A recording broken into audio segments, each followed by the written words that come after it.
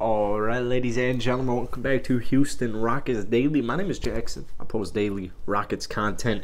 It is the start of September, which means NBA training camp is this month, and we have the NBA season starting next next. I was to say next year, next month, which is you know it was like a really long off season, but now all of a sudden it feels like it went by in the blink of an eye. So we're going to be doing a little bit of a talk on Jalen Green. This is something uh, Serial and I talk about on my daily live NBA show all the time, and I wanted to put it into video format because on my main channel, Will Upton, I'm currently preparing a very deep dive on the Houston Rockets. I might post it on this channel as well. I don't really know what I'm going to do on that, but here's my point the Houston Rockets have found their franchise player in Jalen Green, and this is something that, you know, with the start of the season less than two months away, this is something I'm really trying to drive home with Houston Rocket fans because, you know, while this video is about Jalen Green, I want people to keep their expectations in check for Jabari Smith Jr. If we take a look at Jalen Green's first two seasons in the NBA after getting selected number two in not this year, but last year's NBA draft well, the percentages were about 36% from the field. It was an even worse 28% from downtown. He only scored 13 and a half points per game and you know, a lot of people were not Rocket fans, but a lot of people were saying, you know, did the Rockets make the wrong choice? Because Evan Mobley got going right away, Scottie Barnes got going right away, and it took Jalen Green some time to kind of fully come into his shoes. I'll get the first and second half stats right out of the gate because I feel like that is really the primary point I'm trying to drive home. And you have to keep in mind, man, this was just one year after James Harden left.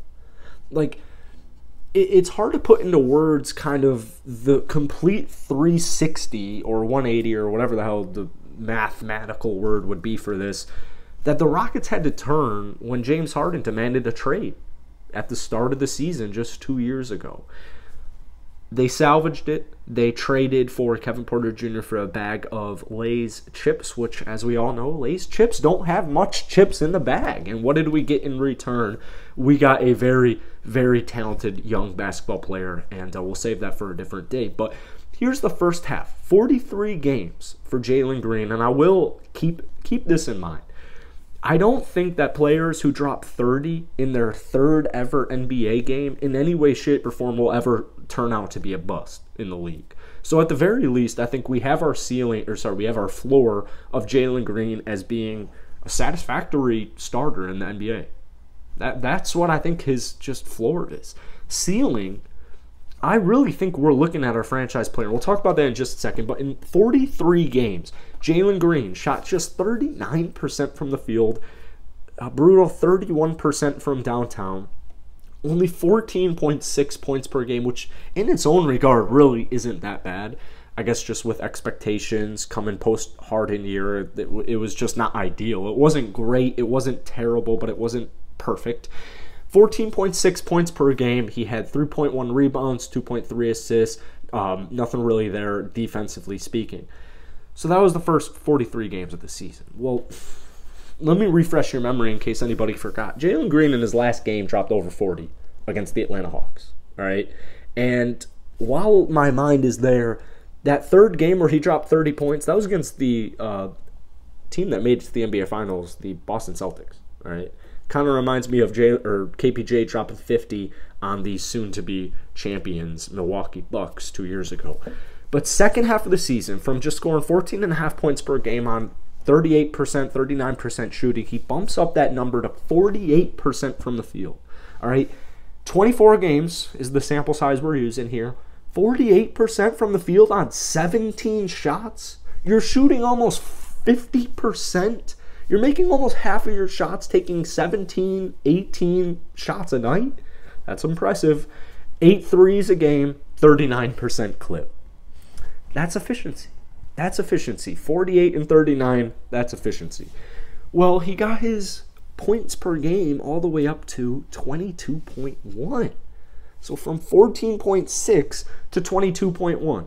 And keep in mind, the Rockets decided to make some moves at the trade deadline. Specifically, Daniel Theis was traded, which opened up the floor for everybody. Now, like I said, Kevin Porter Jr. is a very talented player in his own regards. And we've talked, I've talked about him on this channel several times. Maybe I'll follow it up, follow this Jalen video up with a second half KPJ because he was like KPJ was like 19, 5, and 6 on like 40% three point shooting second half of the season. So the Houston Rockets backcourt in general is looking very good, but Jalen Green, 22 points, four rebounds, three assists. So he gets his points up over like eight points essentially.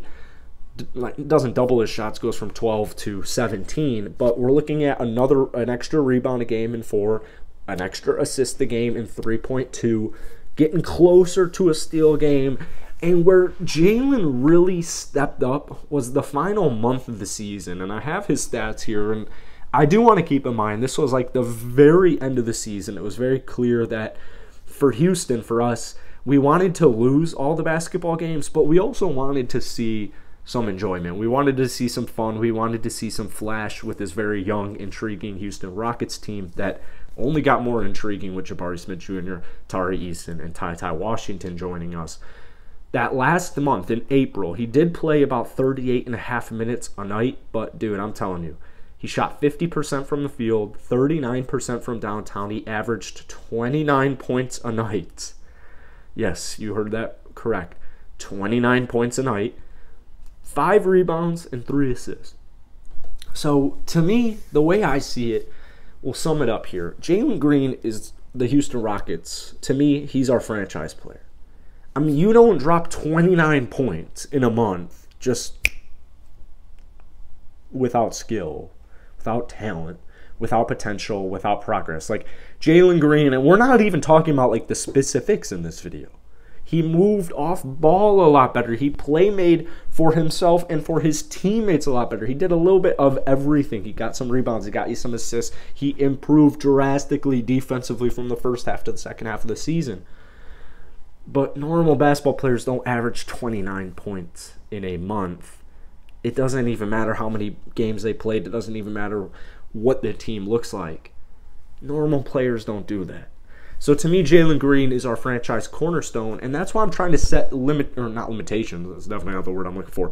I'm trying to set expectations for Jabari Smith Jr. because there are a lot of things he needs to work on to develop into a just complete NBA star.